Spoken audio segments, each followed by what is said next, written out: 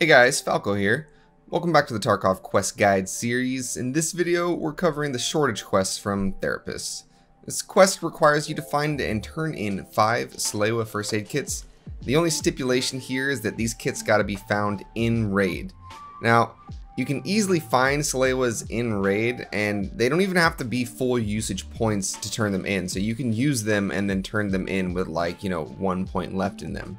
But if you're not very lucky and you don't have all five at the time that you get to the quest, there are a few things that you can do to speed up that process. The first thing I want to point out is that the Tarkov wiki mentions that the barter for the paid anti-roach will fulfill the found in raid requirements. Now, I personally haven't tested whether bartered items are considered found in raid, but if you're there and you've got some anti-roach, it's worth giving it a shot. Secondly, all items that you craft in the hideout are considered found in raid. And you only need a med station level 1 to craft Salewas, so it's super helpful for this quest if you're stuck. The main caveat to this is that you need a running generator in order to be able to craft anything in your hideout, and that requires a security level 1 as well as finding some fuel to actually put in your generator. That can be a significant investment just for completing one beginning quest, but fuel can be easily found on a few different maps.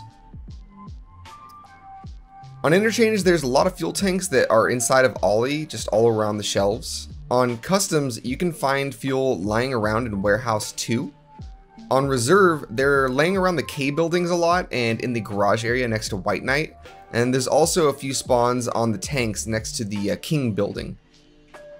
If you're not up for investing in your hideout just yet and you'd prefer just to find them in raid, they do spawn throughout all of the maps and you can easily find them if you know where to look. On customs, there's a few places. Uh, there are two cars on the map that spawn meds in their trunks. One is in the storage area on the big red warehouse side of the map. Another one's directly beneath the guard tower inside the jacket of the trunk of the car. The ambulance in front of the gas station also spawns medical items in the back of it, so that's worth giving a check. And lastly, there's a medical box in one of the blue sheds near the big red warehouse. On Interchange, Manus has a tons of meds throughout it, but it's a very hot spot on the map, so I'd recommend getting in and getting out quickly if you go there. If you have the key to the Emercom room, lots of meds spawn there as well, so you're very likely to find a Salewa in there. There's also a few ambulances on the map that can spawn Salewas, and they're on the west side of the map. On Reserve, there are a lot of places to find meds. I won't mention them all, but I do recommend checking out the White Bishop building. It always has tons of meds when I go there, and it's often overlooked because the loot there isn't as good as other places on the map. Shoreline has a lot of rooms that spawn med bags at the resort. I would refer to the wiki for a map showing the medical spawns as there's way too many to list in this video.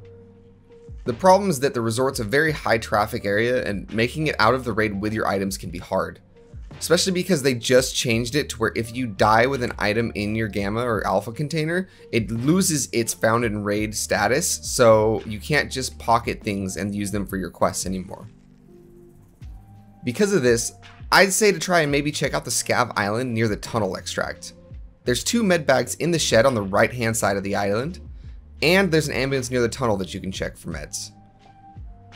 If at first you're not finding the Salewas you need, I really wouldn't sweat it.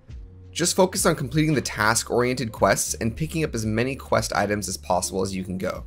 You'll eventually find the items you need, and even if it takes you a while for one task, you'll probably already have the items you'll need for the other quests lined up and ready to go. Me personally, I had already found a few Salewas for completing debut, and I don't mind upgrading my hideout early because I know it can make you a lot of money over time. I was also lucky enough to stumble across a fuel container in Warehouse 2 on customs, so I just cranked out my last two Salewas over the course of two raids. It felt pretty efficient because I could just do other quests without actively looking for Salewas. But anywho, I'm Falco Caliber, and that's Shortage.